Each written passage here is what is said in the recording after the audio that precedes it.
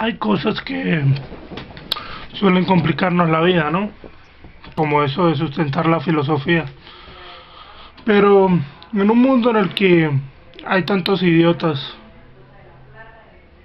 tantos leninistas, marxistas, burgueses, artistas de rock, hippies, es fácil dejarlos a un lado y notar que se tiene de alguna manera parte de la razón o verdad.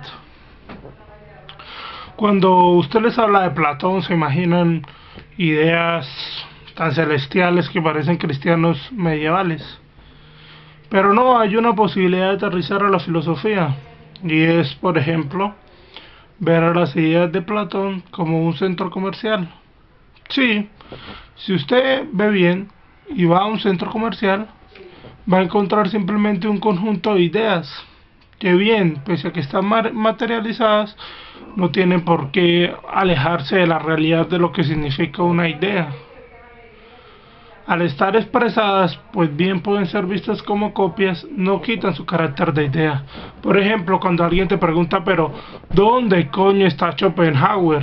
Son hombres que en realidad nunca han visto el vientre de una mujer. O para otros que te dicen que Nietzsche no existe y no conocen San Camilo. Tanto se podría decir sobre esto como decir que Foucault pudo haber ganado toda su experiencia teórica a través de la visita a una cárcel. O mejor aún, que toda la teoría de Foucault que estudian algunos hombres fue en un prostíbulo. Esto es pues bien una verdad que debe ser experimentada en la vida real. Heidegger de alguna manera podría adaptarse totalmente a un campo de concentración.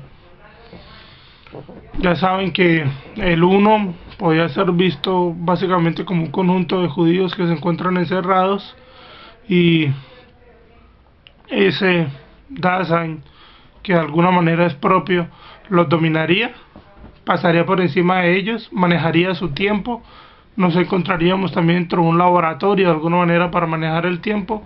Son cosas que no están totalmente clarificadas, pero que de alguna manera serviría clarificar. Para no olvidarnos de que la filosofía es algo efectual y que se desarrolla en cada momento. Esto sin caer en grandes problemas como decir qué tipos de pensamientos desarrollan los instrumentos. Para ello se necesitaría un poco más de investigación y también tiempo, que no se tiene por qué cumplir en un video tan corto. Así que la filosofía sigue siendo lo más vivo, pero a la vez lo que más ignoramos. Parece que es esa mujer de la que todos estamos enamorados, pero que nos ignora.